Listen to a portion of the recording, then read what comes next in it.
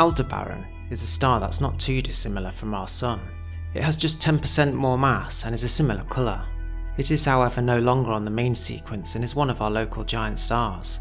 In a similar area of the sky, the famous Pleiades cluster is also known as the Seven Sisters. That's because it contains a cluster of hot B-type stars in the northwest of the constellation Taurus, and at a distance of 444 light years, it is among the nearest star clusters to Earth. Hi everyone, Vega here, and after a brief break for work commitments, our channel is back and I'm delighted to bring you the next episode in our Brightest Stars series, Aldebaran and the Pleiades, so let's get to it. Channel regulars will know that I'm a big fan of the winter hexagon. As winter rapidly approaches us in the northern hemisphere, we'll once again be able to see one of the most stunning asterisms of all, the winter hexagon that contains Rigel, Capella, Pollux, Procyon, Sirius, and of course Aldebaran. If we include Betelgeuse in the middle, it's really quite a stunning coincidence that half of the brightest stars in our skies are all in close proximity to each other. Coincidence gets even weirder though, because when you think that they're all actually on the freeway out of the Milky Way, that is to say, they are on the opposite direction from the galactical centre, and far fewer stars can be found in that region. You might even argue that the weird astronomical phenomenon continues. When we look to the right of Aldebaran, we find the Pleiades cluster, and it's actually also the nearest Messier object to Earth. And that means that it's the most obvious star cluster to the naked eye in the night sky.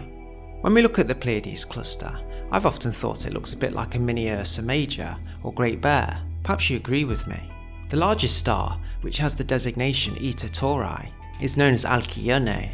Like all the stars in the Pleiades, it's approximately 440 light years from the Sun and is a blue-white B-type giant, similar to other bright B-type stars in the Pleiades cluster.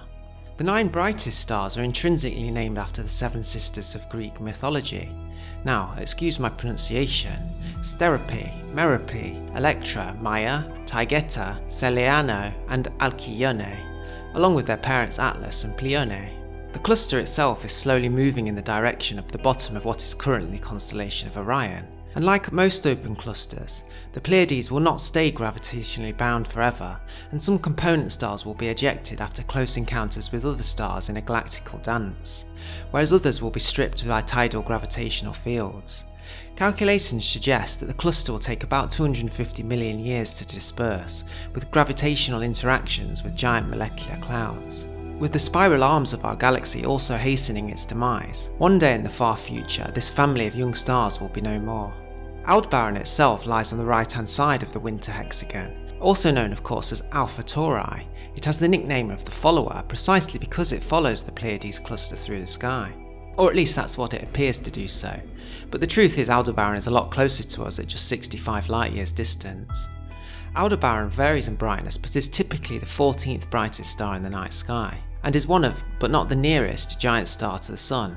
And just like Gemini's Pollux, which is, is actually the closest giant star to us, Aldebaran is substantially cooler than the Sun, and in many ways represents the future of our beautiful yellow star.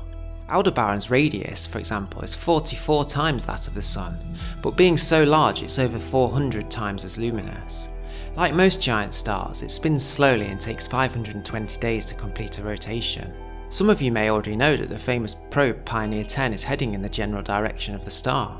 It should make its closest approach in about 2 million years from now, and it's quite interesting in the fact that Aldebaran, being as bright as it is, will dominate the skies of Pioneer 10 for many many millennia to come. Of course, by then the Pioneer's batteries will have long since extinguished. In fact, they've already extinguished anyway, and the probe is long dead, which is a shame, as within the Aldebaran system, there is believed to be a host planet several times the mass of Jupiter, and unsurprisingly, it's been given the name of Aldebaran b.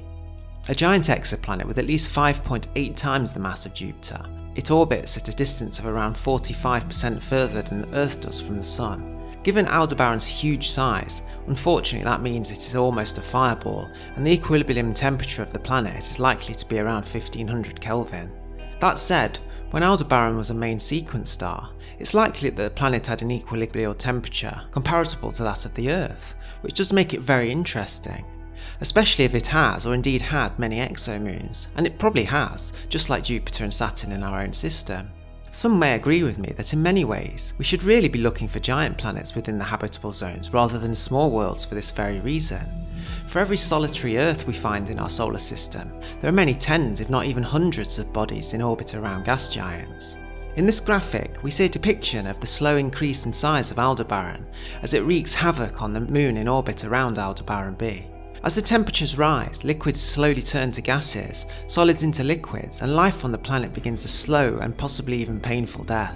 Of course, it wouldn't happen overnight, and actually, this would take millions of years, but you get the picture.